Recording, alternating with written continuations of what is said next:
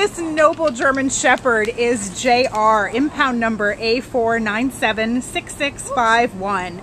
And JR came to the Baldwin Park Animal Care Center on July 26 as a stray from right here in the city of Baldwin Park. We think he's about eight years of age. He's a, a black and tan uh, German Shepherd, as you can see.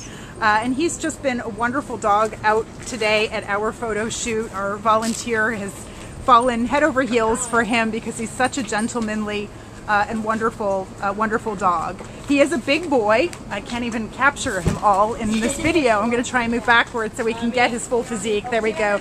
88 and a half pounds, so almost 90 pound uh, dog, but he is so cooperative and easy to handle. He's just a pleasure to spend time with and be around. We're very saddened to report that uh, JR seems to have not been terribly well cared for in his previous living environment. As you can see, he's got significant fly strike damage on his ears.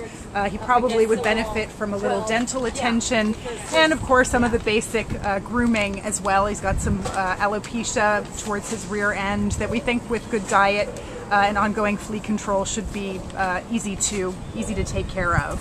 He walks so beautifully on leash. Uh, he's wonderfully patient with other dogs. We had a rather cranky uh, smaller dog uh, really have a temper tantrum at JR and he handled it with complete dignity. Uh, right, really showed that little dog that uh, you can be a gentleman and simply ignore a conflict, right? You just don't have to get into it. Uh, so, he was so good. He was so good. We were all so impressed. And with a dog this size, you know, it's really nice to, to know that they're going to be cooperative. Oh, yeah. Uh, and, uh, and when the bigger dog was a little iffy, same thing. He was just fine.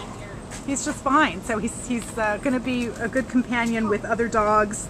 We'd really love to see him get into a home or a rescue where he can get the basic TLC that he needs and finally have an opportunity to really be an indoor dog who's a central part of family life. We think he's going to do wonderfully in any household, especially those that appreciate larger dogs and maybe have even knowledge of, uh, of the German Shepherd breed because he is a magnificent example of the breed. He's so handsome uh, and, and such a wonderful, uh, smart uh, personality. So we hope you'll come down to the Baldwin Park Animal Care Center and ask to meet JR. We know you'll fall in love with him just like we have.